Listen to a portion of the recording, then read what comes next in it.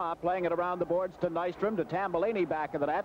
Steve Tambellini pokes it loose. It's picked up by Ruff, but play has been called. Schoenfeld and Nystrom shoving at one another, and now they start to swing the fists. The linesmen were ready to jump in. As they hesitated, all of a sudden, the two of them started to go at one another, and Nystrom hammering away at Jim Schoenfeld.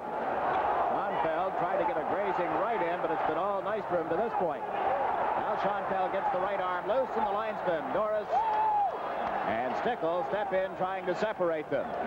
Greg Madill doing a pretty good job as a traffic cop, moving everybody outside the blue line and to the neutral areas. But Nystrom and Schoenfeld will head for the penalty box. So there's a break in the action with the score. The Buffalo Sabres 3, the New York Islanders 1.